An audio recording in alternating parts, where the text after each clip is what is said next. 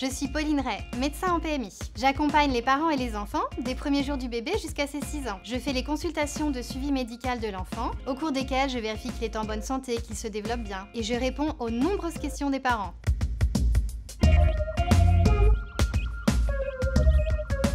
Aujourd'hui, je vais voir Emma, la maman de Gabriel. Elle a quelques inquiétudes sur le développement de son enfant et je vais tenter de la rassurer. Comment ça va depuis la dernière fois? C'est pas faute de savoir qu'il faut pas comparer euh, un enfant à un autre. Voilà, il a eu 9 mois et je vois des, des enfants euh, qui commencent à se tenir debout ou alors qui font du quatre pattes et lui j'ai l'impression qu'il n'assimile pas encore ça. Souvent, les parents sont inquiets en ce qui concerne le développement de la motricité. C'est d'ailleurs la comparaison avec les autres enfants qui fait perdre de vue aux parents que leur enfant aura son propre rythme. Mais est-ce qu'il est capable de ramper Il fait l'horloge. Bon, bah c'est déjà pas mal. Oui. Au niveau du langage, il babille, euh, Oui. il fait déjà plein de choses. donc C'est toujours important de souligner les progrès des enfants et leurs capacités dans d'autres domaines. Bon, je vais t'examiner mon grand.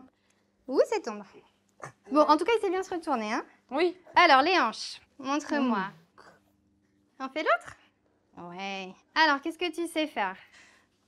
Ah, bah vous avez vu, regardez. Il soulève un peu les fesses. Oh, ça va très bien. Je suis pas du tout inquiète pour lui, moi. Ouais. Le suivi régulier du bébé au cours de ses premiers mois permet de vérifier le bon développement psychomoteur de l'enfant et ses progrès. Alors, moi, l'examen, vraiment, ça m'a pas du tout inquiété. Vous le mettez au sol. Et le mieux, c'est ce qu'on appelle la psychomotricité libre. hein. C'est-à-dire que c'est lui qui va essayer tout seul de se retourner. Et après, il va apprendre à relever les fesses et hop, à aller s'asseoir tout seul. D'accord.